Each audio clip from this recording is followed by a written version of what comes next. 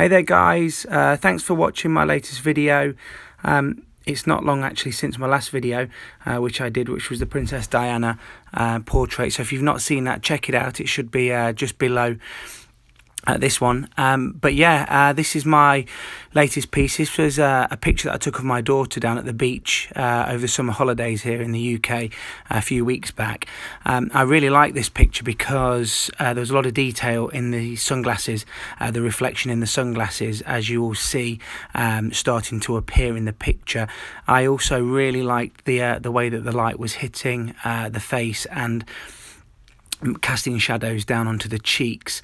What I've started to realise and actually notice is dependent upon the picture, the quality of the picture, uh, i.e., where the light's coming from, the direction of the light, how strong the shadows are, you can actually make your drawing look much, much, much more realistic.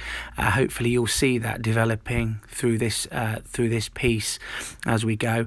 Um, but as always, I'm starting uh, with my 4H and 2H pencils going into the darkest areas.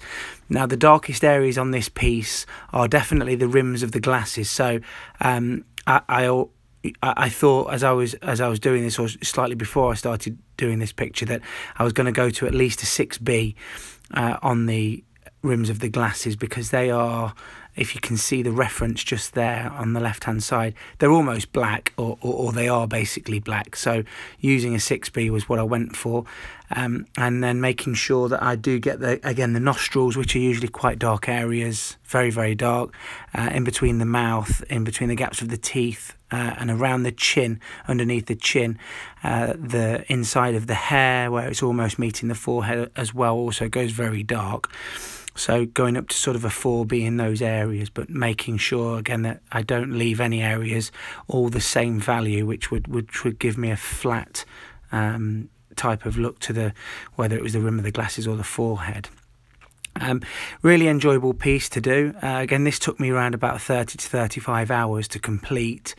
Um, I don't know why it's pausing there. I don't know what's happened, but uh, yeah, it was one of my uh, better pieces. I've actually got it up on display on the wall as we speak now in the house because it was so nice. We were supposed to be giving this to Grandma, but um, I think I'm going to keep it for myself because it does complement the rest of the room that we've got it in. I've put it in a nice frame um, which is a black and white frame uh, with a border around it, so it does sort of pop off uh, the walls. It looks really good. I've had a few compliments from it already. Uh, the other really taxing part on this was if you can see in the corner there that my daughter's actually wearing a white denim jacket.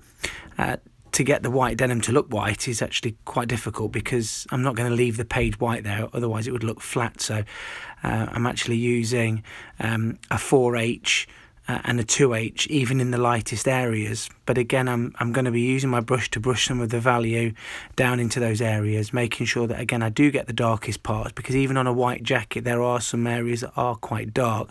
As you can see the creases uh, which cast the shadow downwards underneath the collar they're quite dark.